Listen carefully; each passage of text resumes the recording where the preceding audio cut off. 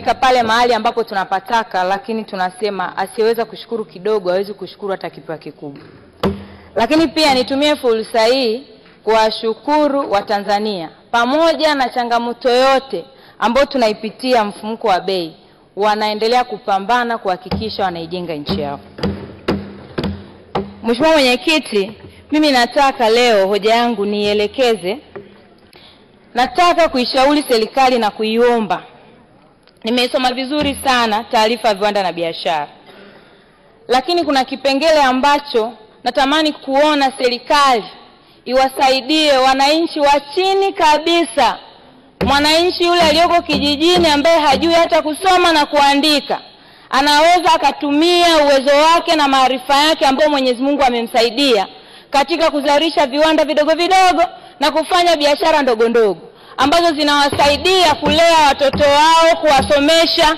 Serikali inapotupelekea vituo vya afya na zahanati, wanafanya hizo biashara ndogo ili waweze kupata hela ya kununua dawa kwenye vituo vyetu. Lakini pia pamoja, serikali imetoa elimu bila malipo, kuna kununua daftari, kununua uniform za watoto na michango mingine elekezi ambayo imewekwa kwenye shule yetu na nataka napotoa mchango huu nijielekeze kwenye mpango wa tatu wa maendeleo ya taifa wa miaka mitano ambao unaanzia mwaka 2021 22 mpaka 2025 na 26 wenye dhima ya kujenga uchumi shindani wa viwanda kwa maendeleo ya watu. Uchumi shindani wa viwanda kwa maendeleo ya watu, tafsiri yake maanake tunapotaka kujenga viwa, viwanda vifanane na maendeleo ya watu. Mheshimiwa Mwenyekiti, nataka kusema hivi nataka kuziongelea local industry na consumers industry, na hapa nataka kuziongelea pombe za kienyeji. Pombe za kienyeji, Mheshimiwa Mwenyekiti, kwenye makabila mbalimbali na mikoa mbalimbali, kila watu wana, wana pombe zao za kienyeji. Kuna pombe ya Ulanzi inatengenezwa kule Iringa, kuna Mbege kule Kilimanjaro, Wengelua, Ntulu kule Singida kwa kakangu Mwigulu, pombe ya mnazi kwenye mikoa yuko ya, ya Pwani, lakini kuna Kindi, kuna Kimpumu. Na pombe zingine ambazo hapa serikali imezizuia, lakini nitashauri mfano gongo. Nitaendelea. Mheshimiwa Mwenyekiti, pombe hizi mimi nataka kuishauri Wizara ya Viwanda na Biashara, kwanza kabisa iunde bodi kama ambavyo Wizara ya Kilimo imefanya. Imeunda bodi ya CPB ambayo inasimamia mazao ya nafaka na mzao, mazao yote mchanganyiko, mfano sijui mpunga, mahindi, denge, sijui mazao yote. Wizara ya Kilimo imeunda bodi maalum. Mheshimiwa Waziri wa Viwanda na Biashara, nataka kukuambia pombe hizi ambazo mimi naweza nikasema serikali haijaipa kipaumbele na imezarau, wakati mwingine wanasema mataputapu. Ukionekana wewe unakunywa kindi, unakunywa kimpumu, unakunywa gongo, hujielewi, huna akili kabisa. Lakini ukionekana unakunywa bia ambazo watu wa TBL wanatengeneza, wewe unaonekana ni wa kisasa. Lakini hata ukienda kwenye balozi zetu huko eh, kuna ile inaitwa katas, wanawatengea kabisa fungu kununua yale mapombe e, ya bei ya laki tatu ya laki nne lakini zote ukizionja radha yake haina tofauti na gongo. Tunajiuliza swali ni kwamba ni kwa sababu hizi zina jina la kizungu na ya gongo ina jina la kibantu. Ushauri wangu, bodi hii itakapoundwa itasaidia kwenda kupima kiwango ambacho gongo inapotengenezwa. Mje, mmeshawahi kupima mkaona ni nini watu wa TBS wanaweza wakatusaidia kutoa makali ambayo yako kwenye gongo yafanane na konyagi, yafanane na pombe zingine hizo ambazo mnaziona ni pombe za kifahari ambazo matajiri wanakunywa, lakini wote wakinywa wanalewa.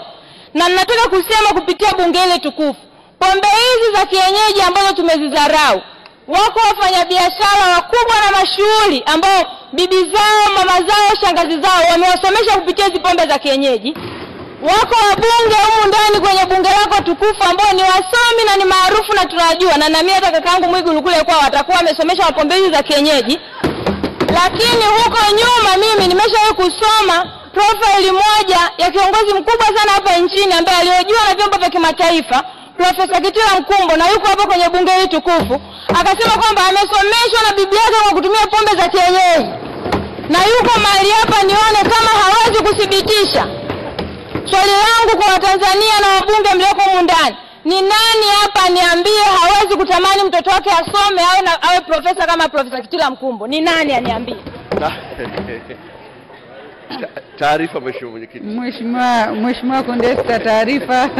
na muda wangu mheshimiwa mwenyekiti nilindi Mheshimiwa Mwenyekiti,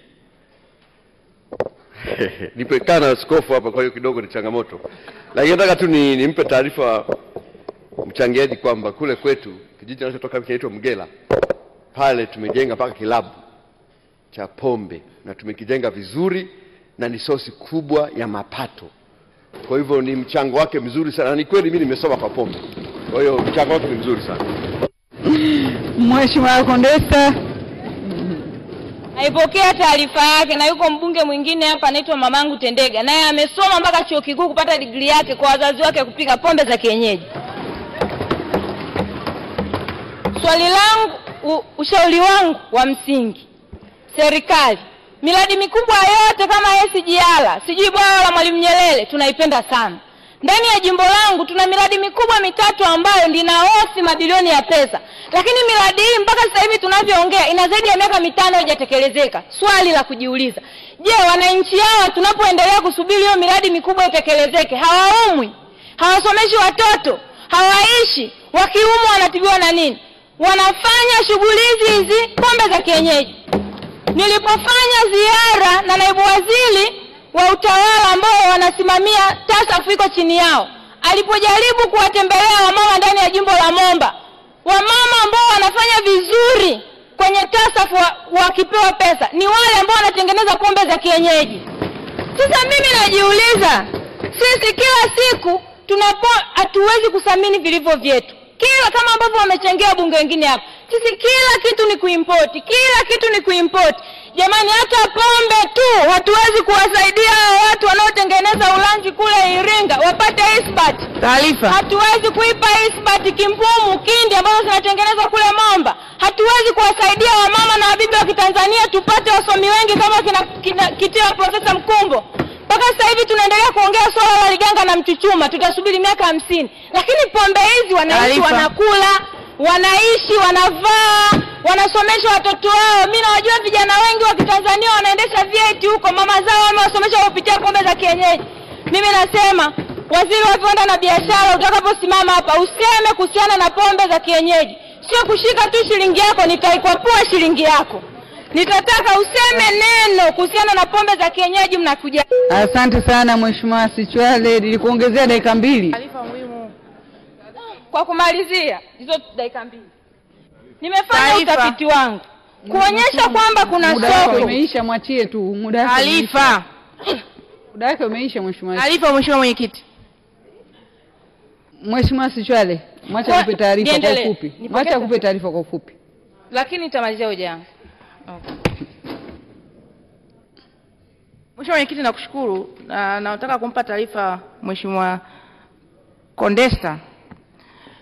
Uh, mchango anaotoa ni mzuri na valid kwa Watanzania wote. Kwa hiyo ningependa kumpa taarifa kwamba kuna kipindi Watanzania ambao wanazalisha mafuta kwa njia amba- ambazo zilikuwa ni za hazijarasimishwa walikamatwa na jeshi la polisi na waziri wa kilimo akatoa tamko akasema Watanzania hawa wasikamatwe, badala yake wasaidiwe ili waweze kujikamua zaidi na kuweza kupiwa na, na kila kitu.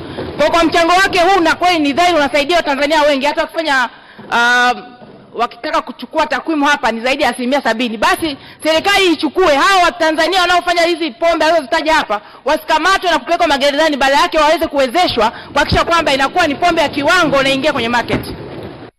asante nashukuru kwa taarifa nashukuru kwa taarifa nimepokea mheshimiwa mwenyekiti kutaka kuonyesha kuthibitisha kwamba sisi wenzetu nchi za jirani wanawasapoti watu ambao wanatengeneza pombe za kawaida. Nimekuja na ba, na sampo za, za pombe. Za bei rahisi kabisa. pombe kama hii inauzwa sijui elfu moja inatoka malawi. Pombe kama hii inauzwa sijui elfu mia nane inatoka zambia. Zote hizi mheshimiwa ni gongo hizi ni gongo hizi elfu moja mia tano. Na zimeingia nchini kinyume na utaratibu hivi nigomba zimepewa majina ya kizungu owners kutoka Zambia, sijui Lulas whisky kutoka Zambia, sijui Jambo Gini, sijui Kevanti, sijui Icelandani. Mheshimiwa Sichwale, umeeleweka sana, nashukuru kwa mchango wako. Mheshimiwa, asante sana. Tunamalizia.